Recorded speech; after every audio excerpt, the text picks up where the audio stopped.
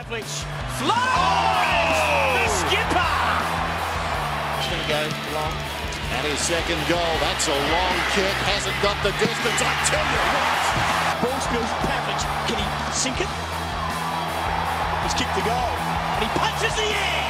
Sidesteps, looks up, Mayne, no one in the square. Pavlich could go for it. It could roll. He keeps it low. It skids. It rolls. It tumbles. That is a beauty. He's got five. Mark Johnson dives in, shoots the handball back to Pavlich. He's off the bench, looking at number three. Walters inside 50. Nails Well, Matthew, welcome to AFL.com.au and thanks for your time this afternoon. Tell us about life under Ross Lyon at, uh, at Freo.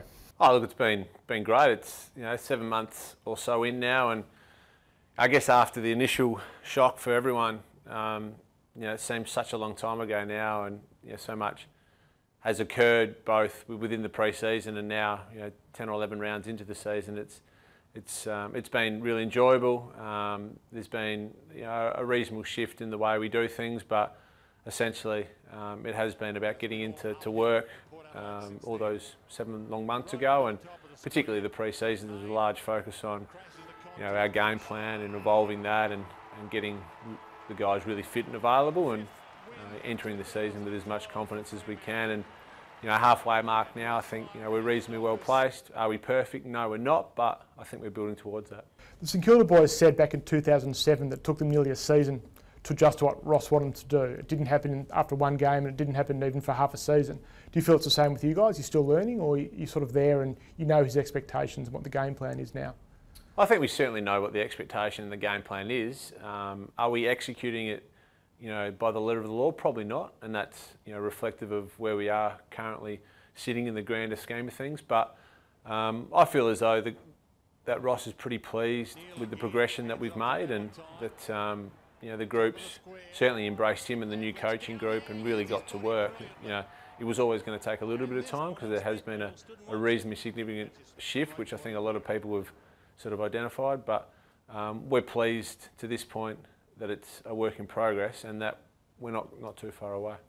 Is it true when Ross uh, arrived at the club he told you, you you were a bit too big and perhaps compared to Nick Riewoldt and told you some of the stuff that uh, Riewoldt did when he was at St Kilda?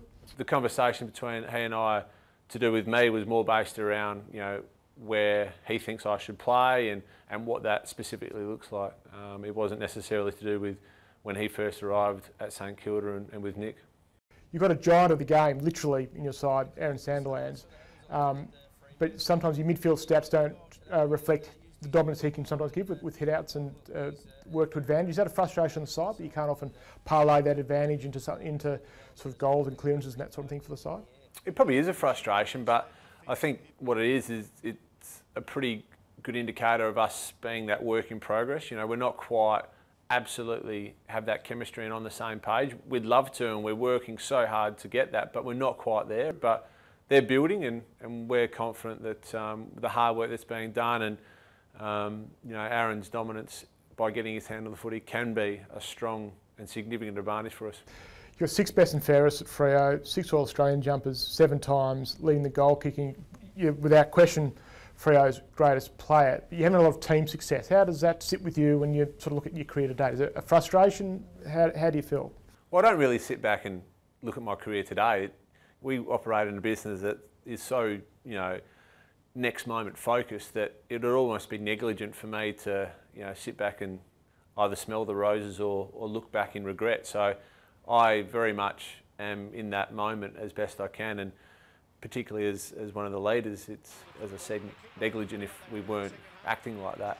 Um, I certainly am as desperate as anyone for team success and you know would love to round out my career in that vein, but I'm also a realist. Um, I, I, understand that you know in this game not everyone gets the fruits of the, the labour they put in and um, I feel as though I've been you know, banging my head against a brick wall for a long time and, and hopefully at some point I'll be able to get through that brick wall. But um, as I said, I'm a realist, so I understand that not all things end in fairy tales.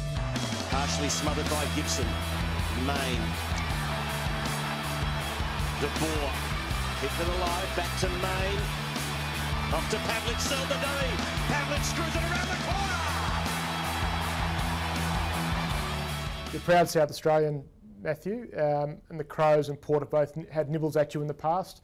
Ever, was it ever close? Ever really tempted to go back, or you've just been really content and settled at Freo the whole time? I've been on the record quite a few times now saying that, yeah, of course there was um, interest, and, and, of course from my perspective there was strong consideration about um, a future you know, back home in, in South Australia, being that proud South Australian that I am. But for me, it was always an element of unfinished business of having that team success and um, you know achieving that for the first time in Fremantle would be you know something really special. And um, I feel as though you know we as a group are really building towards that. And with the young list that we have that's maturing and coming along coupled with some older players who are still playing well um, we're, we're hopefully not too far away. But the focus for me was always about you know achieving something at Fremantle for the first time. And you know, I've always I've sort of been brought up um, in a way that you know if you start something and you see it's worthwhile you think it's worthwhile then then see it through. And I think that's pretty apt from where I'm at with my career. Runs beyond the wing, kicks well inside the forward 50. Over the top, Hunter. Pavlich onto the crumb, snaps, looks pretty good. When you joined Freo, uh, West Coast were the kings of the city probably, uh, and Freo was sort of down there a little bit. How do you, do you feel that's, that's changed? How do you feel you're very much the equal partner of West Coast when it comes to footy in WA?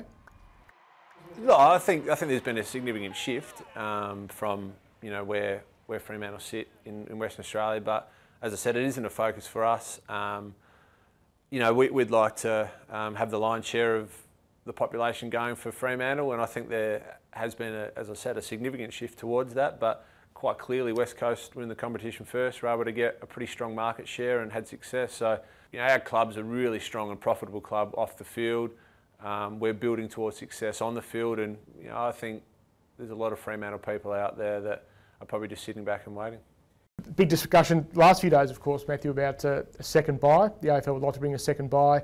Uh, the Players Association, of which you're heavily involved, is pushing for uh, some sort of state of origin or uh, all-star game. But it might be one or the other. If you had a choice, what would uh, would you rather have the second bye or, or have some sort of all-star game at the start of the season?